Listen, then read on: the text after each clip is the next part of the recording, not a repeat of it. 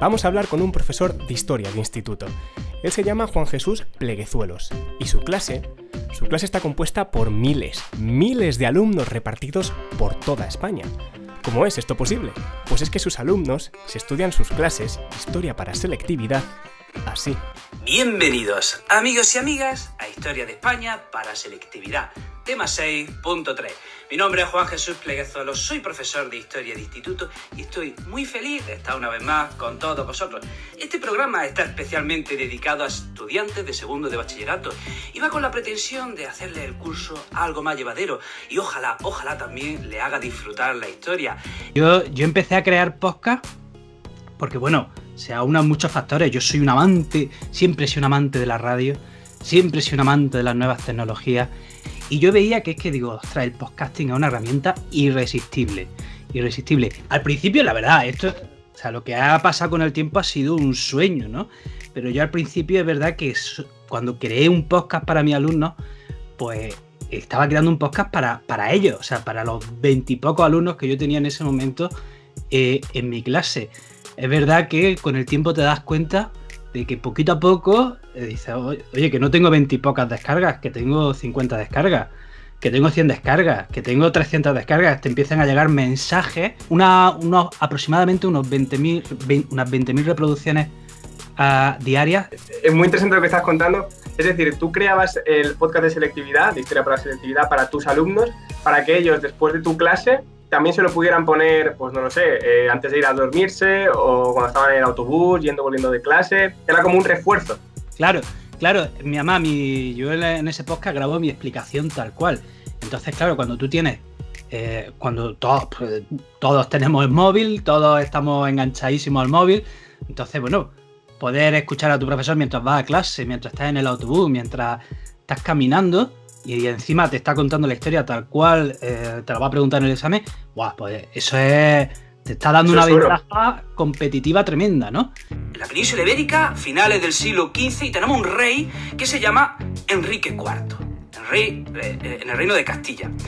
Y Enrique IV tenía una hija, pero este aquí que las malas lenguas, los haters, los trolls, decían que la hija de Enrique IV no era su hija, era una hija ilegítima.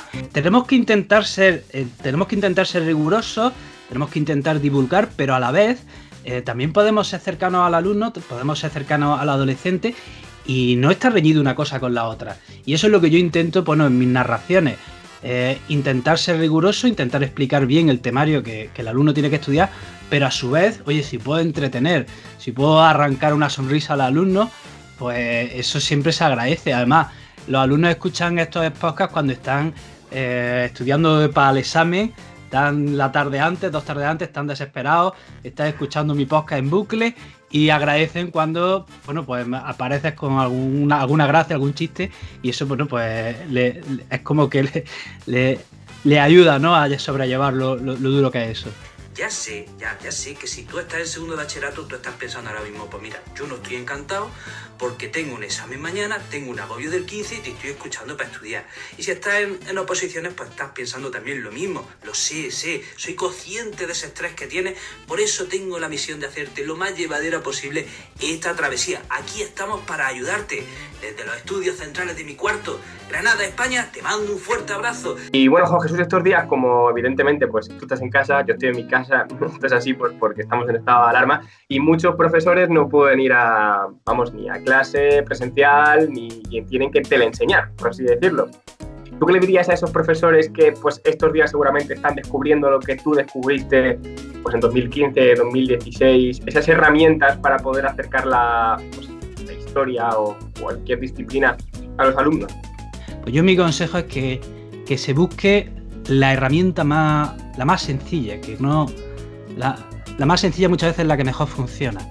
O sea, que muchas veces estamos buscando unas aplicaciones y unos métodos y unos programas que, están muy bien, que están muy chulos, tal, pero muchas veces lo más sencillo es lo que mejor llega. Entonces, mm, que no nos compliquemos tanto con la herramienta o con la plataforma, ¿eh? que busquemos la, la, más simple para poder llegar a los alumnos y transmitir aquello que, podemos, que queramos transmitir.